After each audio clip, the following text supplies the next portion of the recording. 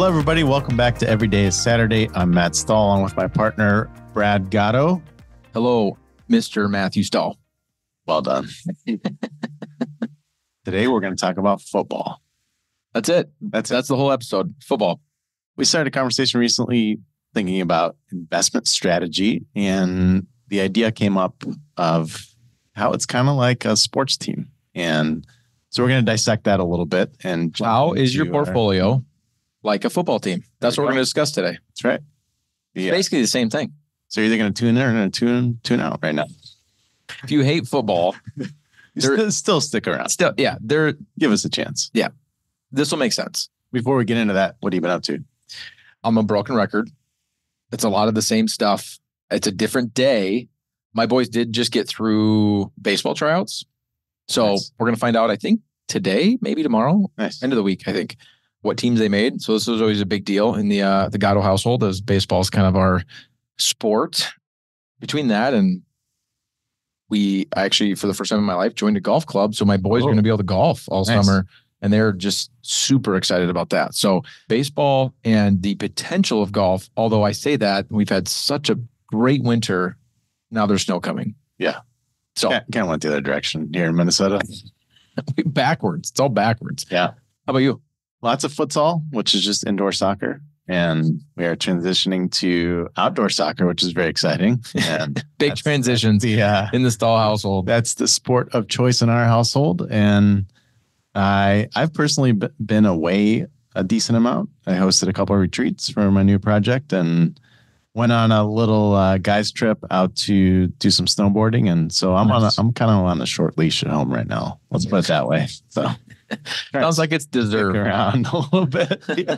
So- As a guy that has traveled a lot in my career, Yep. I uh, fully understand I think I sent you a message The- on yes. one of those flights. the idea I of like coming home and having your wife basically be like, "Your problem now, man." your turn. Uh, yeah, I've been I've been at home solo parenting for days. So been there, done that. Yep. All right, Matt, let's let's dissect this Yeah. really quickly. How in the world, generally speaking, before we get to specifics, is your portfolio or your investments like a football team? Or better yet, should I say, why should it be like a football team? Yeah, that's a great question. This conversation came up as we were we were discussing this idea of folks making the assumption that they have this pile of money and we make one global decision, investment decision about this mm-hmm. entire pile of money. And this conversation was part of thinking about our planning philosophy on the whole.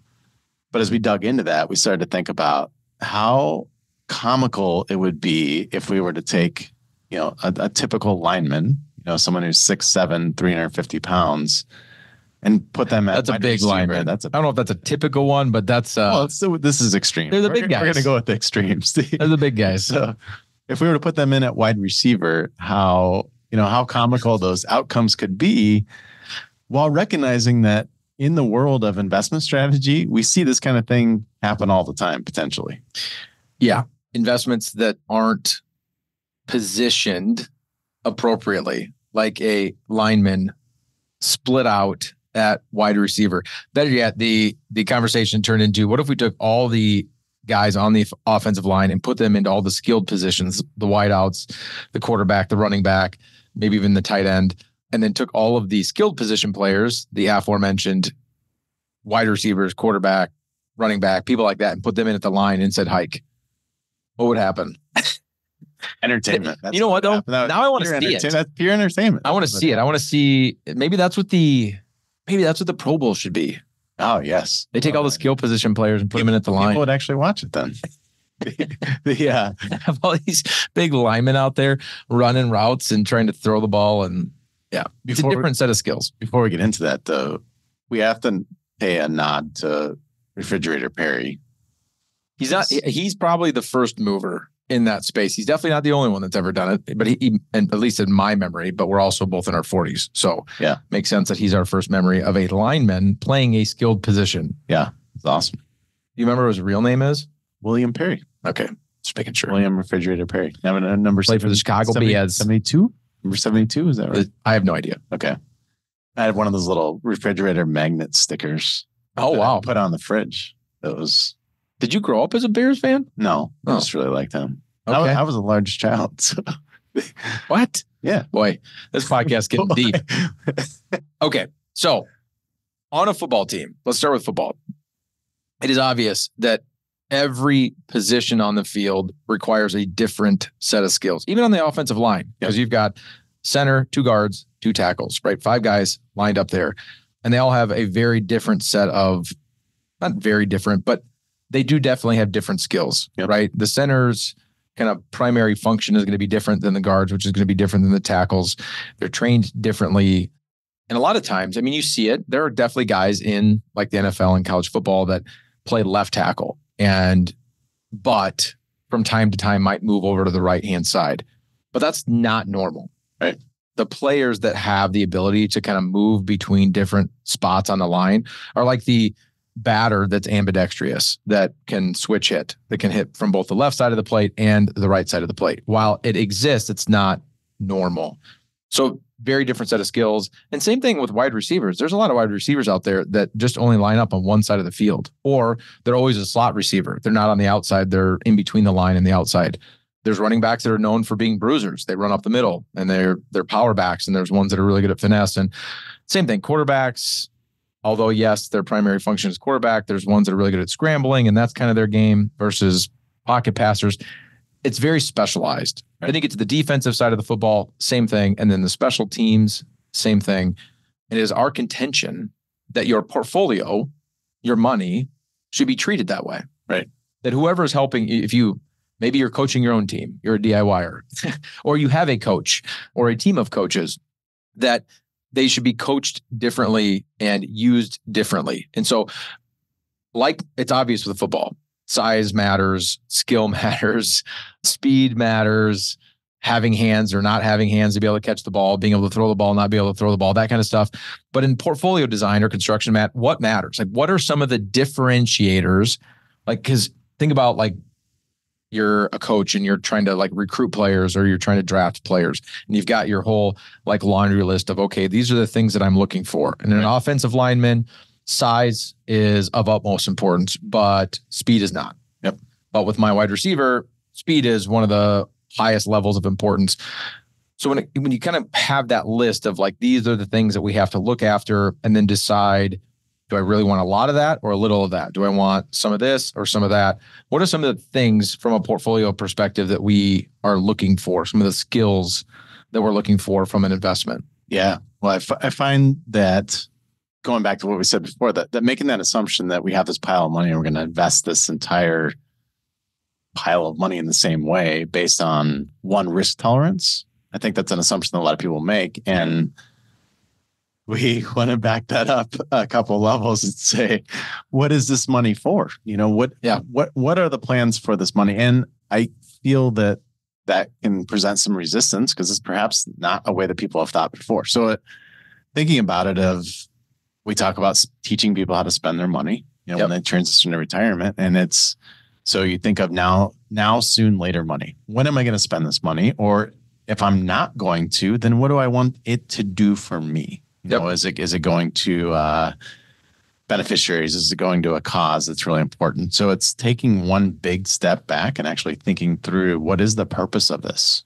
You know, when are we going to spend it? So is it now? Is it soon? Or is it later? So I think that's the first, very first step. So time. time, time, Time is one of the primary things that we're going to if we're if we're NFL coaches and we're at the combine and we're scouting college players and they're looking at their 40 time and their shuttle time and their vertical jump and Yep. their you know all that kind of stuff their bench press one of the things we're looking for one of the kind of drills that we're going to put this dollar through your investment through is time when does that dollar need to get in the game so to speak? Yeah. is it now? Now we define as one to two years. Does this dollar have to go into the game in the next one to two years? Soon would be after two years all the way to 10 years. Later is after 10 years. And so depending on when that dollar has to get into the game is going to be one of the de- primary determining factors in what type of person in my analogy football analogy or what type of investment we need. Yep. the next one is tax status so we're going to be looking at is it money that's already been taxed Is it money that has not yet been taxed, pre tax money, or is it money that grows tax free? So I call those three tax buckets pre, post, and free. And that's going to be a large determining factor for us of how the money could or should be used or should be invested and deployed. So we've got time, number one. We've got taxes, number two. Number three, it'd be nice if it started with a T, wouldn't it? It would. Gosh. Can we, We could can say pull T that up? free, but we can't do that. I don't have anything To risk? to risk. to risk. or not to Non-risk. risk. I uh, think that works. it- yeah. To risk or not to risk. Okay. But if you if you think about if if there's money I'm going to spend within the next two years, the amount of risk I'm going to take with that pile of money should likely be much different than money either I'm going to spend in 10 plus years or perhaps never. You know, Yeah. whether that's for my my investment time frame or for a beneficiary's time frame, the amount of risk in those two is it should look a lot different. Yeah. And risk is relative to time because risk is so in a now bucket or a soon bucket can be very detrimental, whereas risk to a later bucket is far less detrimental. This is no different. Again, I'm I'm going to kill off this football analogy by the end of this podcast episode. Hmm. If I'm bringing on a player onto my team and they have amazing skills, but their personality's not great, right? They've got some off the field issues, if you will. I'm taking a risk there, but I have to decide if the the risk is worth the reward, the potential reward of having this skilled of a player on my team. But along with that player comes this risk. And then there's the super boring players where you're just like, okay, yeah, this guy's a a blue chipper, so to speak, or he's just his upside isn't as good, but solid guy. I know exactly what I'm going to get with this player. And so there's certain times on your team you need people that have that high ceiling, but I've got risk associated with it versus the ones where it's just like, I know exactly what I'm going to get. You're never going to be a 10 out of 10, but It'd be a solid Fine. seven. yeah, I'll take seven And all you'll show- day. You'll show up. So we got time, taxes, and to risk. and one of the other things that we're going to be looking at at our investment combine is if we need income or growth. Is this is the primary purpose of this dollar going to be just to grow it and take that dollar and turn it into two dollars or three dollars, or is the primary thing to be to spend it? Is this meant to be spent? And so, what are we trying to get accomplished there?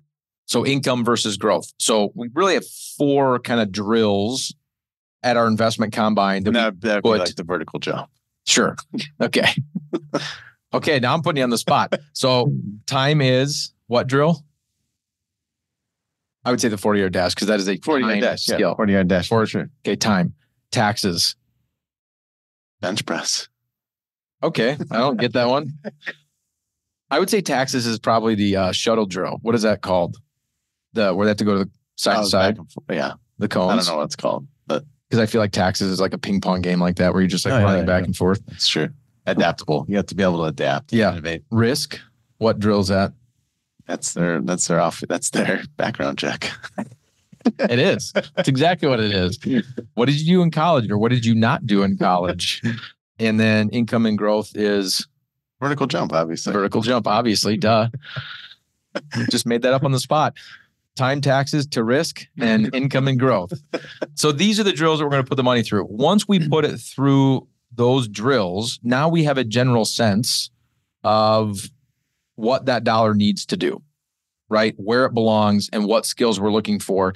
Then we go to the field of players that is out there and decide who fits where on the team. And you guys, there's so many different things you can look at when it comes to this side of the table, whether it's an equity position or a debt position, what, what asset class it belongs in, whether it's a domestic investment or an international investment, whether it's a private or a public investment, whether it's growth oriented or value oriented, if it's liquid, if it's not liquid, if it's a small company, a mid-sized company, a large company, a mega sized company, what sector of the market it fits in. The list goes on and on. There are just so many different players that can be in the game. None of them are good and none of them are bad. Looking at any of them and going, hey, that guy's, you know, six, seven, 350. He's a terrible wide receiver. Sure. But that's not what he's built for. Right. He's built to do something completely different. And so they all kind of have their place. And so it is not our job to look at the different skills of the football players and say they belong in football or they don't. It's just that where on the field do they belong? Yeah. I think another another real valid point to think about is just because you set your team a football team, that's not going to, as we know these days, people are moving around all the time. Players are moving around all the time. So you you don't just set it and that's what it is. It's something that's going to be constantly changing or adapting. You know, we're this player's going away. We're looking for a new player depending on what's happening around us. So just like a football team is an ongoing, evolving thing, Mhm. so is our strategy. Risk versus non-risk could be offense and defense. Are they on the offensive side of the ball or the Oh, defensive side go. of the ball? To risk, you mean? To risk, yeah. There's a lot of analogies here. The point we're trying to get across in this podcast episode is pretty simple. There is no such thing as good products or bad products, good players, bad players. It's just as a as a coach, one of some of the best coaches out there in any sport are the ones that can get the most out of their players, which a lot of times has to do with the right fit. Are they in the right spot on the field? Are you utilizing their set of skills and their set of talents to the best of the abilities that they have and getting the most out of them? And just knowing when those players should be in the game and which ones shouldn't be in the game at that point in time. Because there are definitely times where certain investments don't belong in your life. Right. Because their skill set doesn't fit your certain circumstance or situation, whether we're looking at the time side, the tax side, the to risk side, and the income or growth side. So at the end of the day, it's important to understand you need diversification of these things. All time tax risk. I can't keep doing it. and income and growth. The other analogy I've been thinking of this whole time, and I just have to put it out there to confuse everybody, is golf. Because I was thinking, I was going to make the analogy of like team sports versus individual sports, and we need your portfolio to work as a team sport.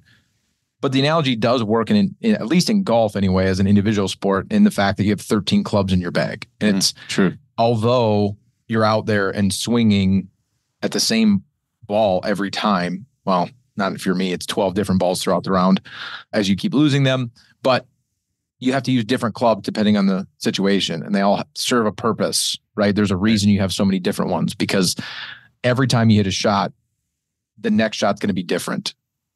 Yep. You almost never hit the same shot in golf. You have to look at the circumstances around you. So it does work in golf. Anything you want to add to that?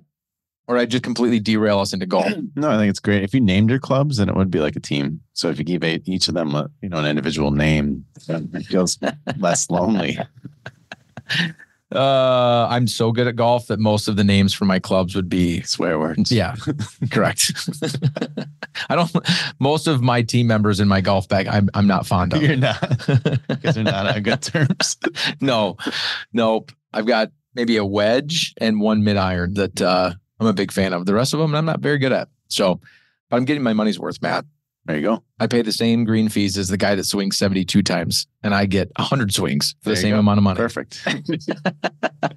hopefully this was a little bit educational and a little bit of fun that's our primary goal here with every day is saturday know this that here at fiat we are taking these things into account and so when recommendations come your way when the portfolio design comes your way it is being cognizant of each individual dollar and what we're trying to get that dollar to do and as a coach of the team how can i get the best outcome and it's a different set of skills and a different set of facts depending on what we're trying to get done and it's important that you understand why your portfolio is constructed the way that it is. So, Mhm.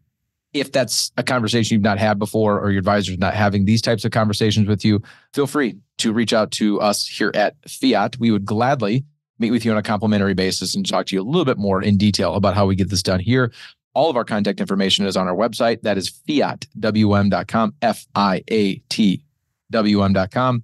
Thanks for joining us for this episode of Every Day is Saturday. Again, my name is Brad Gatto. This is my co host, Mr. Matthew Roy Stahl. We will see all of you next Saturday. Thank you for listening to Every Day is Saturday. Click the subscribe button below to be notified when new episodes become available. The information covered and posted represents the views and opinions of the guest and does not necessarily represent the views or opinions of Fiat Wealth Management. The content has been made available for informational and educational purposes only. the content is not intended to be a substitute for professional investing advice. Always seek the advice of your financial advisor or other qualified financial service provider with any questions you may have regarding your investment planning.